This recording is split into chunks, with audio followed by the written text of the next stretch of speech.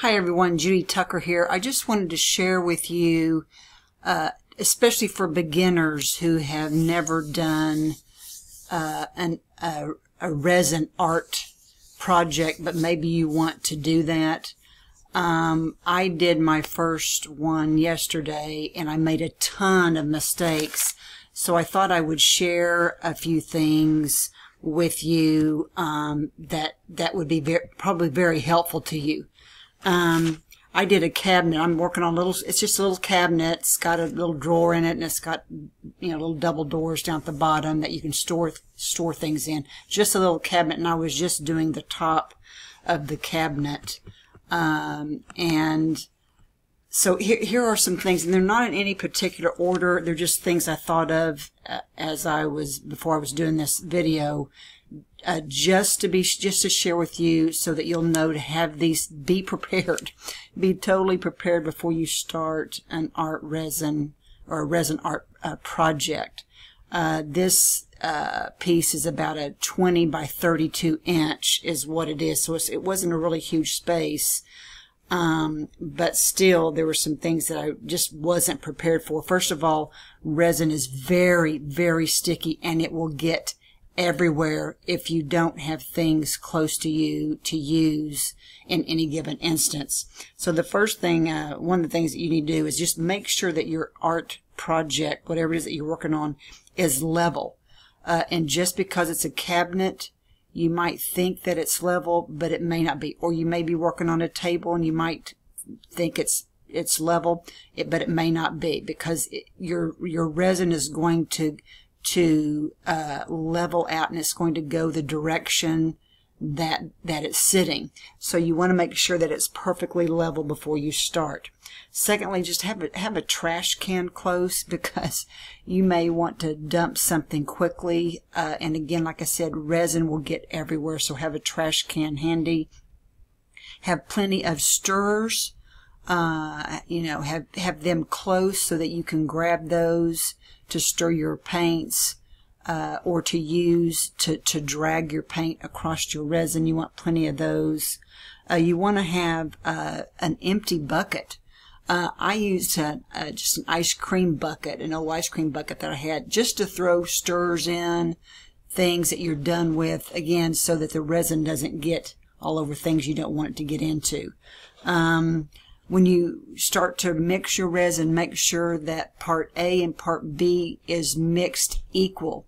Um, and pour your part B in first and then you'll pour the part A. It's, it's much thicker.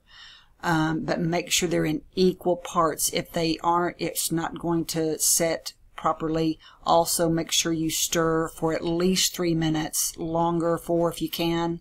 I stirred mine for three to four minutes and it, and it came out perfect. Uh, if you're using latex paint, make sure that you uh, thin your paint with a little bit of water. Uh, you want to make sure it is not thick, like you were putting it on a, like you were painting something. That it's usually paint is thick, so you want to thin that out because if you don't, that paint is going to sit above your resin and it's just going to cause you to have to use more resin. Once it hardens you're going to have to add more resin a, a more of a clear spot on a clear flow on top of that uh, to cover those that exceed above the resin. So make sure you thin your paint out. Um, let me see, oh, mix extra resin. I would I would mix maybe even a couple ounces more than what you need. I know that may be a waste, but you want to have it in case you need it. Um, I ran out and did not have enough uh, on my project uh, when I was first putting it on. So um, make sure you you have just uh, maybe a couple ounces more than what your project calls for. Um, wear two or three pairs of gloves. Um, when you when you put your gloves on, put three, two or three pairs on, because if you get your hands in resin, or if you need to pick something up and you've got resin all over your gloves, whatever you touch is going to have leave resin and it's going to be very sticky. So, say for instance, I used resin, I used my gloves to spread the resin on. I didn't use a paintbrush or a roller I because my space was a fairly small space. I just used my uh, the gloves that I had on, and I spread I spread the the resin to level out uh, the best way I could. Then I took those gloves off, and I had another pair uh, on top of it. So that that worked out perfectly, and that way you're not having to pick up things that you already have. You, know, you have resin on your gloves. So wear extra gloves. You can peel those off, and then you've got another clean pair on underneath it.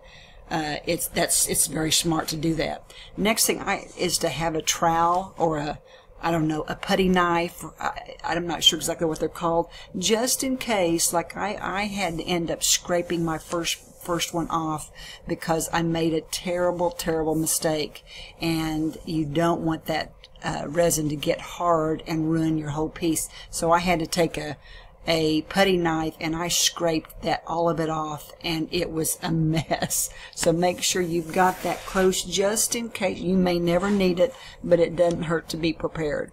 The next thing you need to do is have a spray bottle of alcohol.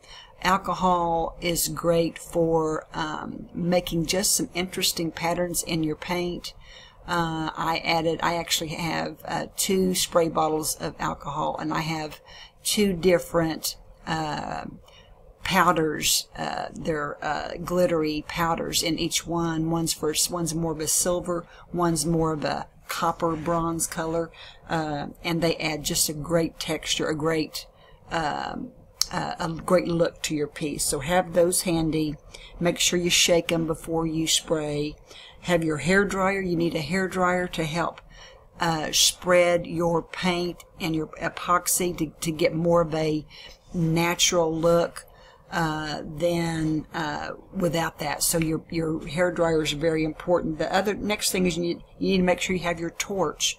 Make sure it's handy because your torch uh, helps um, take the bubbles out of the resin. When, normally, when you put resin down, uh, it could be it will form some bubbles. And the best way to get those out is with a torch. And you just kind of torch across the top of it let it set for a minute and then torch again and your bubbles will come out uh, very nicely.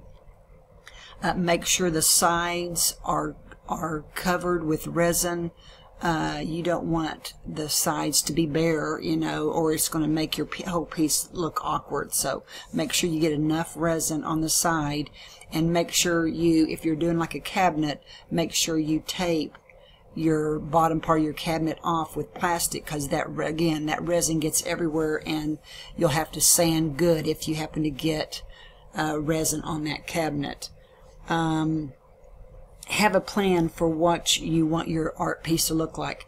I got way too much color on this piece. I had an idea of what I wanted and then I couldn't stop with adding more latex paint.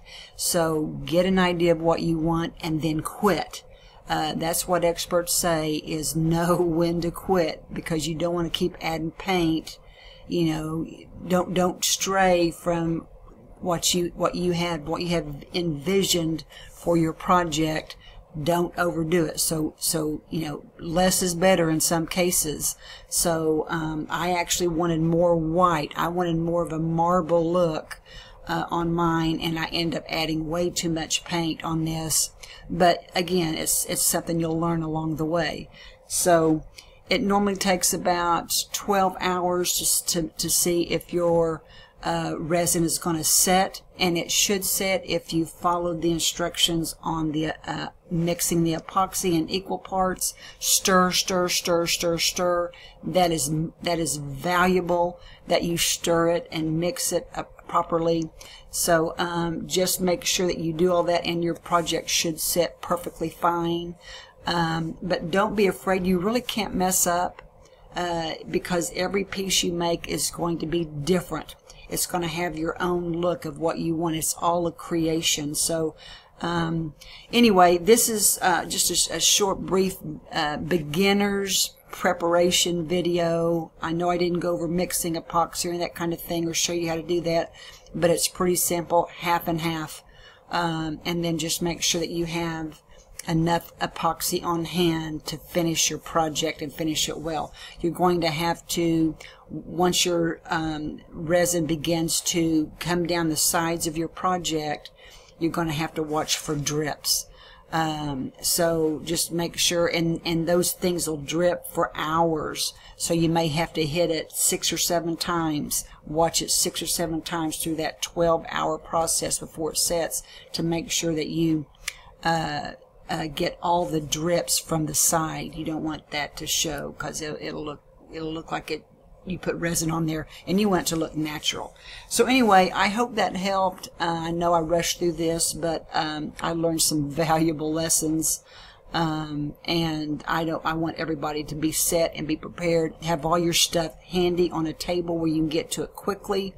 Uh, you don't want uh, to mess around with any this resin getting thick before you get all your paints mixed and your and your streaks made or however you're doing yours you want to make sure that you get everything set and have it at hand uh, so that it, that you don't uh, you're not trying to uh, look around for things that you already should have had on hand. So anyway, hopefully this helped.